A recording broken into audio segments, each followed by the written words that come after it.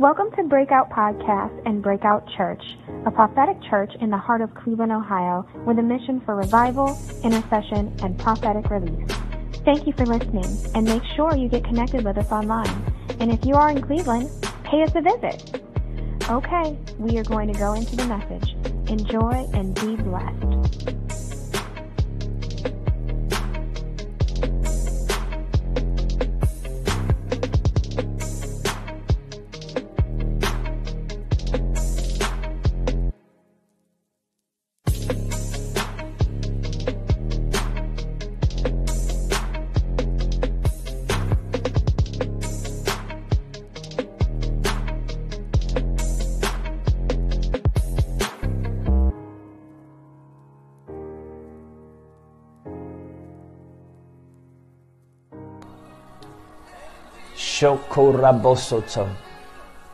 Father God, I just thank you, Lord. Hallelujah. I just pray and I thank you, Lord God, for everything that you're doing in this season. Everything that you're doing in this hour. I thank you, Lord God, for blessing everyone coming onto the line. Thank you, Lord. God bless you, Lisa Dengo. God bless you. Thank you for joining us this morning. Kimberly Johnson, Sister Deborah, I thank you for touching our lives in Jesus' name. Shokorabosotoko. God bless you, Sister Shanae. Sokorabosoto. Hallelujah. Sometimes I got to remind myself, you guys, we're not coming on here to have a show. We're not coming on here to make a production. Now, we have a production in order to do something. The, the purpose of the production is order to connect with God, to connect with each other. But we're not here to put on a show. We're here to connect with the Lord, to hear what He has to say. Shoko, let's just take a moment to pray and get our hearts in the right place to hear what God has to say to us today. Shoko rabo sotoko. Soko rabo sotoko. I told the Lord, I said, Lord God, I'm going into ministry and I want to serve your purpose. I want to hear your voice, but I want the real thing. I want nothing less than the real thing. There's a lot of fake stuff out here. We don't want the fake stuff, Lord. We want the real stuff. We want to get rid of the fluff. Hallelujah. Shokorabosoto. Hallelujah. Only you can satisfy, satisfy us, Lord. Yes. Hallelujah. Shokorabosoto. Only you can satisfy us, Lord. Help us not to forget, Father God, what this is about. Help us not to forget, Lord God, that you want to touch our lives. You want to heal our bodies, Lord God, that you want to affect the world around us, that you want to change some things, Lord God. Help us not to be sworn in by formality. Help us, Father God, not to become complacent. Help us, Lord God, not to uh, get stuck in the rut of religion. Keep us flexible. Hallelujah. I just hear the Holy Spirit. I hear the Lord say, I am keeping you flexible. Everything that's going on in your life right now is prescribed for your promotion. Hallelujah. Shokoraboso. That's for somebody. I hear the Lord say, I'm keeping you flexible. I'm keeping you kneadable in my hands. I'm keeping you soft in a world that has sought to harden you, in a world that has sought to freeze you, in a world that has sought to delay, trample, and harden your heart. I hear the Lord say that He's keeping you flexible, soft, kneadable, moldable because He's not done making you. There's many different things that He's going to begin to implement into your life from this moment forward. He desires for us to be kneadable and flexible and soft every single day of our life. Every day of our life. We were talking last week about God uh, wanting to break us, break our mindset, break our perspectives. And I hear the Lord saying that He desires for us to be soft every single day of our life. Did you know that there is a time in every person's life, every man and every woman's life where they begin to become hardened in their ways. Psychology and some science says that once someone becomes hardened in their ways and in their personality, then a lot of those things can't be changed. But I know a Bible, I know a word that says that God will take the hardened heart, hallelujah. He will take the stony heart and make it into a heart of flesh. And that's a miracle. And that's what God wants to do in many of our lives. he wants to take the stony heart, He wants to make it into a heart of flesh so that He can continue to mold us. He needs flesh in His hands, or flesh representing something soft, something kneadable, something able to be manipulated. He wants to manipulate us for His purposes when the world seeks to manipulate us for their purposes. Hallelujah. I've been writing on these things all weekend. I've been trying to take advantage of the opportunity here and the freedom that we have to get some work done. And I've been able to finish uh, a couple of books, uh, updates, and stuff like that. But talking about God wanting to conform us to His Word, conform us to the mind of Christ, that we not be conformed to the ways and in the mind, in the thinking of the world. Hallelujah. With that, we're going to go into the Word. If you guys have your Bible, I want you to grab it. Grab your Bible. We're going to go right into the Word. And I want you guys to go to Genesis chapter 12, verses 1. Genesis chapter 12, verses 1. We're going to talk about vision. We're going to talk about perspective. We're going to talk about some of the things the vision and the perspective that God wants to begin to change in us. Last week we talked about the fact that God wants to break our vision. He wants to break our perspective. He wants to break our theology and he wants to give us his. Uh, some of us are believing God for vision going into these next season. We're believing God for perspective. This is an hour for download. This is an hour where God is uh, pouring things into us. And we want to know how to hold and carry those things. But most of all, we want to be able to know how to hear the word of the Lord. I'm going to give you guys uh, three different ways that God wants to speak to you. Three different ways that God wants to speak to you. And then I'm also going to show you part of what I believe God is doing in this season as He's trying to release new vision to us in the midst of everything that's going on. Uh, last week we talked about the fact that God doesn't release new vision on top of old perspective. We used the analogy concerning having glasses on. If you guys can notice, I'm, I'm, not wearing my glasses right now. I was able to finally order my contacts, but I've got contacts in. Last week I was wearing glasses, and uh, I want you guys to understand what perspective is and how God wants to shift and change our perspective. But there's some things that we have to do first before God can begin to shift and change our perspective. One of the things that we have to do is we've got to take off the old perspective. Come on, we've got to allow God in in order to break down our thinking so that He can replace our old, ugly, dried out thinking with His thinking. Some of us may think that we have it all figured out. Some of us may think that we've got the answers. Let me burst your bubble. We don't. I'll be the first one to say that I don't. Every day I wake up in the morning, I'm relying on God's thinking. I'm relying on the mind of Christ to come in and show me what I need to do in my day. Every night before I go to bed, I'm relying on God's thinking. I'm believing God that He's releasing new thinking in my sleep. I'm believing that He's He's uh, releasing dreams and visions in order to reframe the way that I think about things because I know that my thinking is small. My thinking is always going to be limited, but His thinking is perfect. His thinking is big. The Bible says that Christ, God says, I know the plans that I have for you, and they are for good, and they're not for evil. So we want to be able to uh, free our minds before God can begin to release that greater vision, where He can begin to release that new way of thinking that He wants to introduce to us. Our entire world is in the process of a reformation. Our entire culture is in the process of a change. Our entire church is in the middle of a shift as God is changing the way that we see things. He's changing the way that we think about church. He's changing the way that we think about the world around us.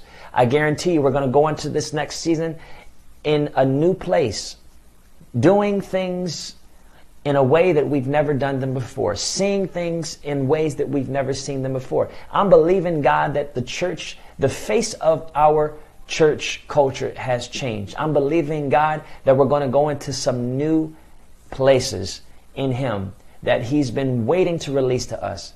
The Bible says that humility comes before honor. And this is a great season of humility for many. What does that mean? Well, that means that there's great honor that's going to follow up this season. Somebody help me. Hallelujah. Shokorabosoto. Hallelujah. So, with that being said, God said to us last week that if He was to heal our perspective, if He was to give us His vision right now, uh, physical vision, if He was to heal my eyes and I still had my glasses on, the first thing I would see would be distortion the first thing I would see would be distortion. Things would become blurry. Well, why would I see distortion? Why would things become blurry to me? Well, they would become blurry to me because I never took off the old perspective. How many know that if you uh, tried to put glasses on top of contacts, it's going to be blurry? If you try to put contacts on eyes that have 20/20 vision, it's going to be blurry. It doesn't do you enough justice just to receive the corrected vision, but you must first get rid of and have the old vision broken down. So God is trying to change our way of thinking. We've got to get rid of some old perspective. We got to get rid of, somebody's got to get rid of some old ways that they see church. Somebody's got to get rid of some old ways that they see their relationships. Come on. Somebody's got to get rid of some old ways that they see family. Somebody's got to get rid of some old ways that they see marriage. God wants to introduce to you His way of seeing things. And the first place that God begins to release vision is in His Word. The first level of vision is the Word of God. I'm going to do a little bit of teaching this, this morning and this afternoon. Genesis 12, verses 1 through 7, and says, Now the Lord said unto Abraham, Get thee out of thy country and from thy kindred and from thy father's house unto a land that I will show you. And I will make of you a great nation. I will bless you and make your name great. Them that bless you and curse him that curseth you. And in you all of the families of the earth shall be blessed. So Abraham departed as the Lord had spoken unto him, and Lot went with him. And Abraham was seventy and five years old when he departed out of Haran. And Abraham took Sarai his wife, and Lot his brother's son, and all their substance that they had gathered, and the souls that they had gotten in Haran. Praise the Lord. And they went forth to go into the land of Canaan, and into the land of Canaan they came, and Abraham passed through the land unto the place of Shechem unto the plain of Moreh, and the Canaanite was there in the land. And the Lord appeared unto Abraham and said, Unto thee and unto thy seed I will give this land. And there builded he an altar unto the Lord who appeared unto him. Now, really quickly, we're talking about vision here.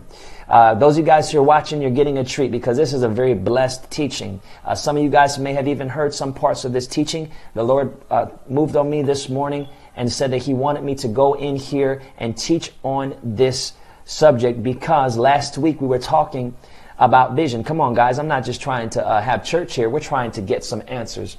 We're trying to see what God is saying to us. First of all, if we look at the story here uh, concerning Abraham, the first thing God says to him before he can release vision to him, he says to him, Get out. I'm not talking about the movie Get Out, but he says, Get out, Abraham, you get out.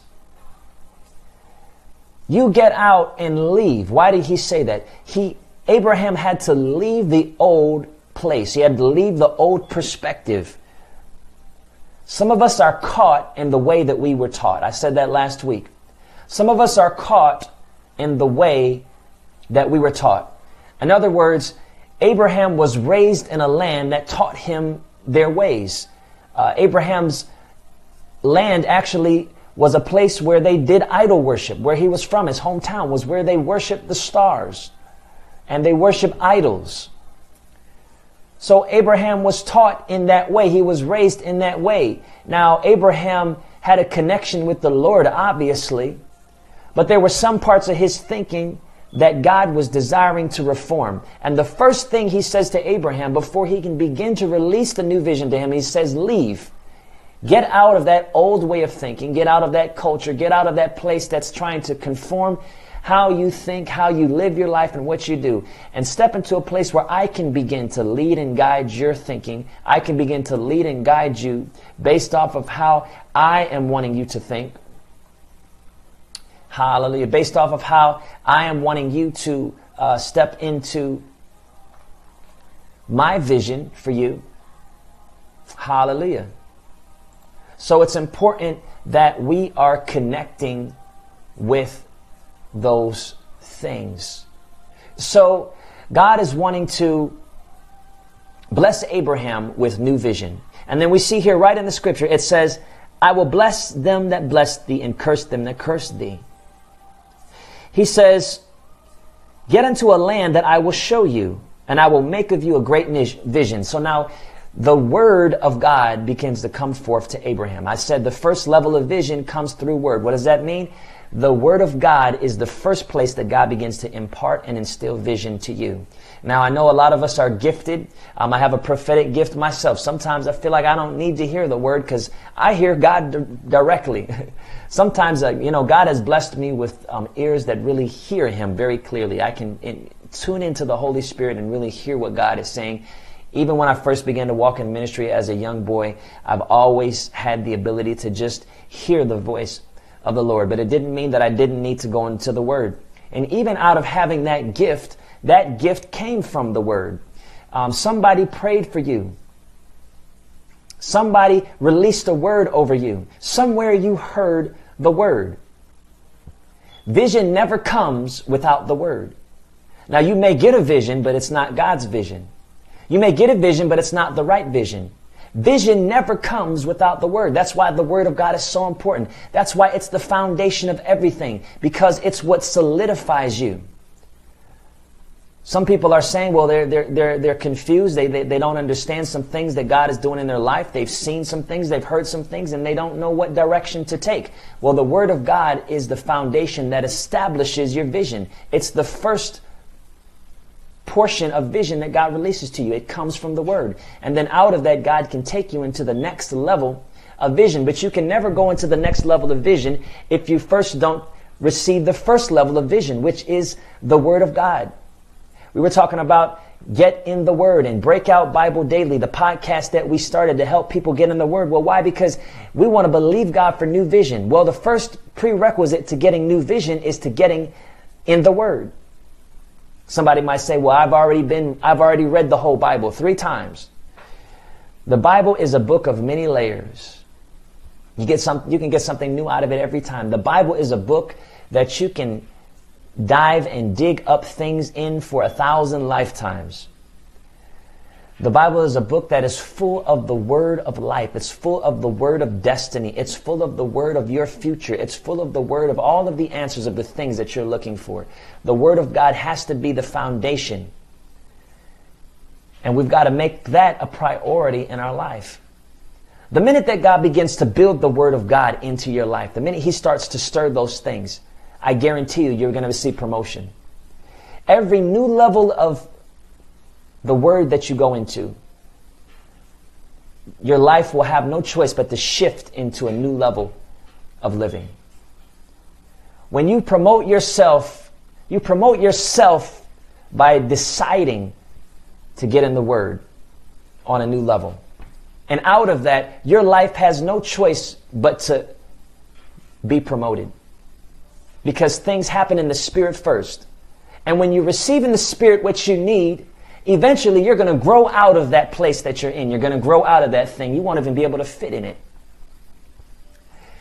We started getting in the Word on a daily basis, and we started receiving the Word of God on a new level. And it only took two weeks before God promoted our entire ministry, shifted us launched us into a new facility. Well, I, I, didn't know why God was moving on me so heavily to get in the Word in that season, but how many know He was preparing to release some new things? God, on the other side of this coronavirus, God is preparing to release some new things to you. He's preparing to release some new things to the church as well. But He can't do that if we don't get what we need to hold those things. God releases new blessing on new levels of His Word. Hallelujah. Praise the Lord. We're going to move on because I don't want to keep you guys too much longer. So, uh, the next level of vision, the next level of vision is sight.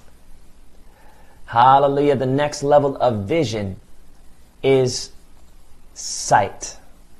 And out of that, we're going to go into Genesis chapter 13, verse 1. This is the next chapter. We can see where God released different levels of vision to Abraham. And it says, And the Lord said unto Abraham, after that Lot was separated from him, Lift up now thy eyes and look from the place where thou art northward and southward and eastward and westward, for the land which thou seest, to thee will I give it, and to thy seed forever. And I will make thy seed in the dust of the earth, so that if a man can number the dust of the earth, then shall thy seed also be numbered. Arise, walk through the land in the length of it and in the breadth of it, for I will give it unto thee. So, praise the Lord. God begins to release vision to Abraham, and now Abraham is no longer just hearing the word, but now he's seeing it. So, first of all, God wants to release vision to you through word. Through the word, through the anointed word of God becomes the foundation of your vision. And then the promotion of that is sight. A God can release vision to you in dreams. He can release vision to you in vision form. But he wants you to begin to look at those things before you walk into it. Before you ever step into a new place, a new place of promotion, into a new place of vision, before you are walking in those things, you've got to see it first. You've got to hear it first, then you've got to see it, and then you step into it. And then you step into it. So you hear it in the preceding part, and then you see it before you, and then you step into it and you're now you're living in it currently. Come on, somebody. You're living now currently in the vision that God formerly spoke. So past, present, future. You see the connection there. You see the parallel. So God speaks to you in the past about where He's taking you. And then you see it and then you step into it. And now you're living in vision. But that's not where it stops. Let's go into the next level of vision for, for our close. The last level of vision, really quickly, you guys, is going to be revelation. Revelation vision. This is what I want to talk about. So, revelation vision is the last level of vision, and then we're going to close. Let's go to Genesis 15 real quick. And it says here, And after these things, the word of the Lord came unto Abraham in a vision, saying, Fear not, Abram. I am thy shield and thy exceeding great reward. And Abram said, Lord God, wait with wilt thou give me? What will you give me, seeing I go childless? And the steward of my house is this Eliezer of Damascus. And Abram said, Behold, to me thou hast given no seed, and lo, one born in my house is my heir. And he brought him forth abroad and said, Look now toward heaven and tell the stars if thou be able to number them. And he said unto him, So shall thy seed be. And he believed in the Lord, and he counted it to him for righteousness. And he said unto him, I am the Lord that brought thee out of Ur of the Chaldeans to give thee this land to inherit it.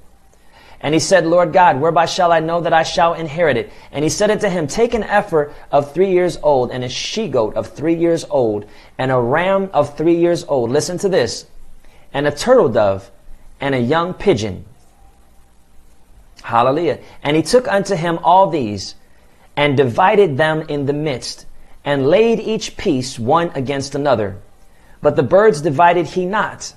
And when the fowls came down upon the carcass, Abram drove them away.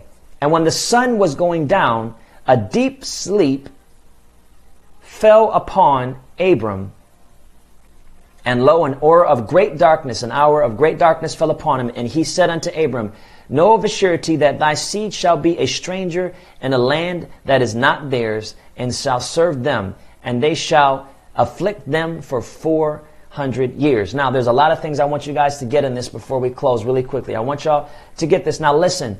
The third level of vision, revelation, the level of vision that God was releasing to Abraham was of the distant future. Come on. He was releasing to Abraham the plan, the promise, the future of his bloodline, the future of his heir, uh, the future of his household. Hallelujah. I hear the Holy Spirit.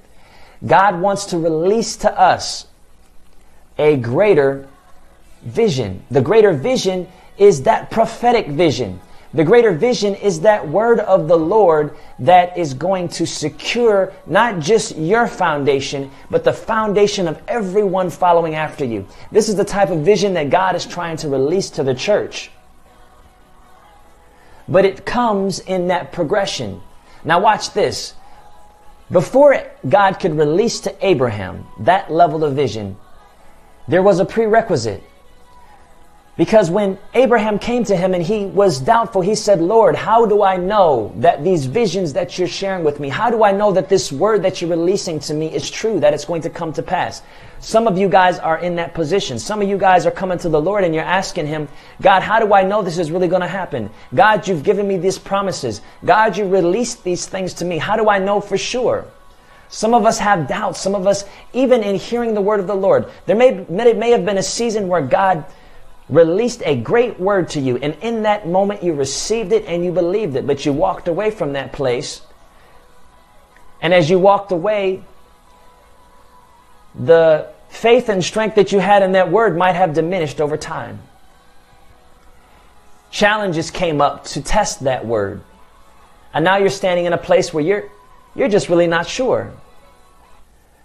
You're just really not sure whether or not God is going to bring this thing to pass. Just like Abraham came to him.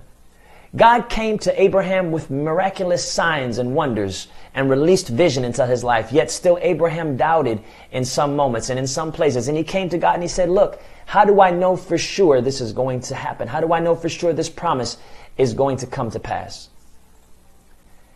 And out of that, God said to Abraham, Here's how I'm going to release to you the greater vision. Here's how you're going to be able to gain access of the future of your household. Church, here's how you're going to gain access to the future of your generation. Those of us in the coronavirus, here's how we're going to gain access to the future, the, the longevity, the livelihood, the, the, the future of this world, this life. You're going to gain access the same way that God called Abraham to get in position to receive. Come on, to get in position to receive the greater vision. He said to Abraham, take an heifer. Because what I can't, what I want to release to you on this level is a prophetic word, is a prophetic promise based on the blood of my son, Jesus Christ. What I can't, what I want to release to you on this level of vision can't come to you but through the blood of Jesus. So Abraham, so God called on Abraham to make a sacrifice. And that sacrifice represented the shed blood of Christ, even in a time preceding Christ's death, burial, and resurrection. Come on, somebody. So it was only through the blood of Jesus that God was allowed to release this prophetic vision, the prophetic vision of the nation. And God wants to release a prophetic vision concerning our nation. He wants to release a prophetic vision of our world today. He wants to release that to us. And it's only out of that, through the blood of Christ, that He can release that to you. God wants to release a prophetic vision for your family. He wants to release the prophetic vision, the foundation that He's going to establish your bloodline on, beginning with you. The foundation uh, that your children will stand on and that your children's children will stand on. That's beginning with you. What flows from your house is going to flow from this generation into the next generation. What God wants to release to the church, what He wants to release to us is going to flow through this generation into the next generation, but it must come through the blood of Jesus. So God said to Abraham, Get an heifer, make a sacrifice. Now, watch this. I'm going to show you, church, where we are today in the midst of COVID 19, in the midst of quarantine and pandemic.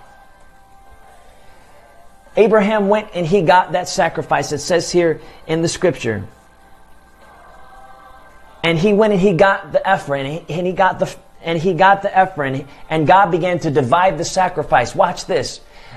The vision that God is about to release to you in this next season, this next level, is going to require little of you and more of God. I hope somebody caught that. The vision that God is going to release to you in this next season is going to require little of you and more of God. Somebody say, You're doing too much. You're doing too much. God wants to release something into your life. And now, this is a season where He's kind of sat us, He's kind of allowed us to be sat down. I want to encourage you in this season to take it easy and rest. Don't try to do too much outside of preparing what God is about to release to you because what God is going to do in this next season is going to come from His throne. It's going to come from His hand. This is His portion. This is His part. And when God is ready for you to step in and make the moves that He's calling you to make, He will let you know. Somebody listening into this is feeling uh, anxious, has been feeling anxious and asking God, what do you want me to do? What do you want me to do? It's easy when you're sitting around the house to get anxious. It's easy when you're sitting and doing nothing to get anxious. And you're used to having your hands on something. You're used to being busy. But this is a season of acceleration. Everything that God is doing in this season is behind the scenes. He's accelerating. He's building up potential momentum. And we're going to see that in the following season. And there's going to come a place where God is going to say, okay, now it's time for you to do. But if we haven't rested in the season of rest, then we're going to be tired out and exhausted in the season of do, in the season of go, in the season of build, where God has now shown us the vision and now He's broken the sacrifice of Christ in our life. And now He's ready for us to go forth and walk out what He's shown us. Because in the next scene, Abraham gets up and he tries to help God with the sacrifice. God said, No, this is my part. This is my piece. This is what I do. It says right here Take an heifer of three years, and a she goat of three years old, and a ram of three years old, and a turtle dove, and a young pigeon. And Abraham took unto him all these things and divided them in the midst, and laid each piece one against another. But the birds he divided not.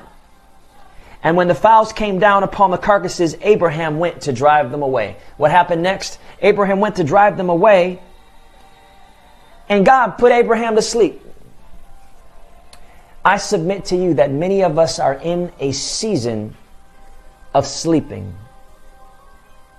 It's a rest that God has laid upon us because there is a work that He's doing behind the scenes that we cannot do. Mind you, there is a season where He's calling us to step up and put our hands to the plow. But right now is a season of preparation. Get yourself ready and get in position for what God is about to do. Rest and take advantage of the season of rest. Rest by faith, knowing that God is going to do some great things. And collect yourselves to prepare for what God is about to put in our hands in this next season.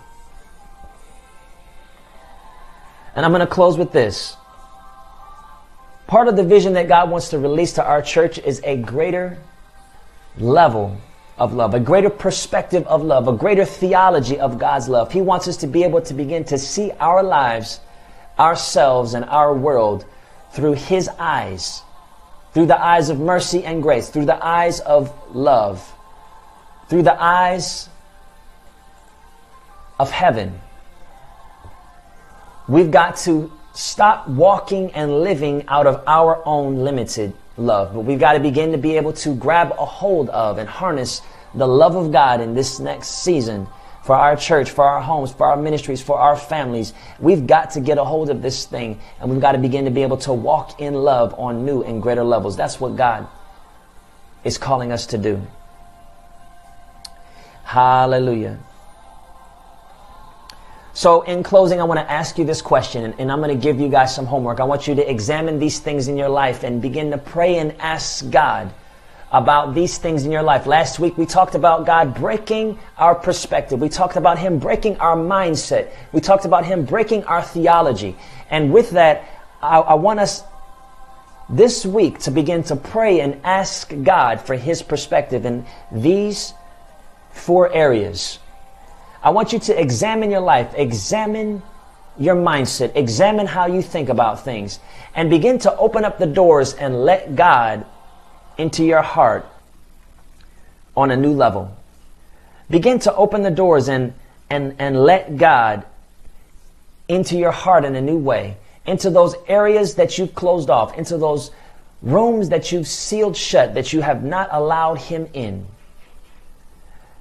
Hallelujah. Begin to open up your heart and allow God to come into some new places. Allow Him to illuminate light in some new areas so that you can see in ways that you may have not seen before. Four things that I want you guys to pray and examine this week. Number one, how do you see God? This is a time and an hour for us to collect ourselves and reevaluate our relationship with our Creator, Re- reevaluate our relationship with our Father, reevaluate our relationship with the Lord. Ask yourself, how do you see God? How do you see the church? And how is your theology? How do you see God? What is your theology? How do you look at God? Do you see Him as a loving, giving God? Do you believe He is a God that wants to heal you? Do you believe He's a God that wants to deliver you? You may think these things, but do you really believe them? Examine your heart. And I'm going to pray and believe God that He would help us to examine our hearts this week. Number two, how do you see the world? What's your worldview? What's your world perspective? Do you see the world from a judgmental perspective? Do you see the world from a small vision perspective? Or can you embrace how God sees the world? We talked last week about Peter, how God had to change Peter's world vision. Peter's perspective of the gospel was limited to the Jews, and God had to say, No, I have created this gospel. I've, I've commissioned this gospel to go out to the ends of the earth for every man, woman, and child, and even to the Gentiles. It was that perspective that made that that was broken in Peter that allowed the gospel to flow forth to us today. How do you see the world? Ask yourself this question. Number 3, how do you see your life? How do you see your life? Are you living in a glass house where there's a glass ceiling and you can only go so far? Or are you expanding your vision of your life? Are you able to expand your vision of your life? Are you able to see yourself walking in some new places? Are you able to step out in faith and allow God to take you wherever He desires you to go? Or are you stuck in small thinking? Is your life stuck in one place that God can't, He has no room to expand you? Holla, you know, my wife, she, she always, she's always challenging me to expand my thinking. Just when I feel like I've arrived, God uses her to challenge me, to expand my thinking, to expand my perspective. There's always a new place to go. There's enough levels, come on, for you to reach everyone for a lifetime. There's no place that God wants you to plateau in. Hallelujah. God wants to continually in, increase you. The Bible says His mercy and His grace and endures forever. And He wants to take us to each new level and each new place. And the last but not least, how do you see yourself? What is your self perspective? You want to take the lens of yourself and examine. Are you seeing yourself through the eyes of God? Are you seeing yourself through the love of God? Because how you see yourself is also going to be how you see others as well. Father God, I just pray and I thank you, Lord. I thank you, Lord God, as you are helping us expand our vision. I thank you, Lord God, that you're helping us to step out and break out into some new places in our lives. I pray, Lord God, and I thank you, Lord God, that as you seek to release prophetic vision to us in this season, in this season of download, I pray, Lord God, that you would give us a heart to hear, ears to hear the word of the Lord that concerns us. In Jesus' almighty name I pray. I pray and I thank you, Lord God, for delivering us, Lord God. Deliver us from small vision, from small thinking. Deliver us, Lord God, from limited thinking. I pray, Father God, that you would break every vow that we've made of ourselves, that we've sworn that we wouldn't change this or that we wouldn't change that. I pray, Lord God, that you break those vows in Jesus' almighty name. I pray, Lord God, that you become the lead of our life. I pray that you become our shepherd, Lord God. That we're not finding ourselves leading ourselves, that we're not finding ourselves trying to control ourselves, but that we release the controls to you. I pray, Lord God, that you would strengthen us and help us to walk in a new and greater perspective. In Jesus' almighty name, I pray and I thank you. Well, God bless you guys. Thank you for joining us this morning. Those of you guys who are watching this, if you've missed it or if your feed has frozen, I know that Facebook um, is probably really overloaded these Sundays where we have a lot of services going on with a lot of different churches. Um, I want to let you know that we will be rebroadcasting this service at 6 p.m. tonight so you can see it again. And uh, those of you guys who missed it, or maybe you missed a portion of this due to some freezing on the line, I noticed that Facebook was uh, having a little bit of a hard time. It's a little overloaded, I can imagine. Every church on the planet is trying to have service right now. Just uh, don't forget, you guys, that you can also watch our services on YouTube, Periscope, and our new platform, Breakout TV. If you want to check out Breakout TV, www.breakoutcentercleveland.com. We're going to be having some different uh, productions going on throughout the week to keep you guys connected. And um, with that, really quickly, real quick before you guys go, I, I did have an announcement. I will be doing a new book launch soon. If you guys want to connect with that launch and see the progress that I've been making with the book, we're going to be preparing to send out the promotions for that and also relaunching some of my previous titles so that you guys can know the materials that are available to you guys there on Amazon.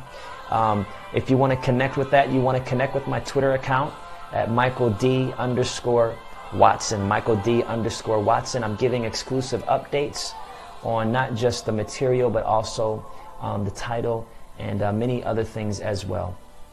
God bless you guys. God bless you guys this afternoon. Have a good rest of the day. Check out the website, www.breakoutcentercleveland.com for updates on everything that we're doing. And um, don't forget about Tuesday at 6.30 p.m. We're going to be having Breakout School, and we're going to be teaching on emotional healing. Emotional healing. Those of you guys who have been through some traumas, I believe that God wants to touch you on this Tuesday. Don't forget also to visit us on Thursdays on the lines at 6.30 p.m. Our team puts together a great prayer. Shout out to Shanae Williams, Deborah, Sister Denise, and all of those who help support us with holding that prayer line open. Also, um, um, also Elaine Williams. Um, those of you guys who are all connected with us and supporting us in this hour. Thank you guys for your giving, for your seed, and everything that you've been doing to help us out in this season with the ministry. Look forward to connecting with you guys in our new facility when we get back into the church. But in the meantime, we'll have church online if we can help it. And uh, I guess that's all. Have a good rest of the day. Spend some time with your family. Find some time to pray and worship the Lord this day. And have a good rest of the week.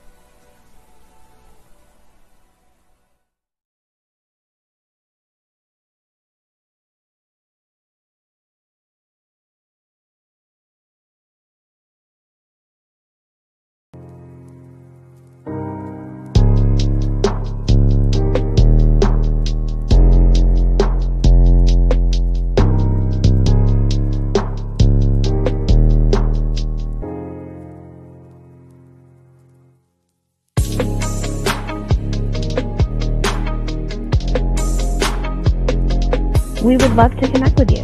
Visit us online at www.breakoutcentercleveland.com.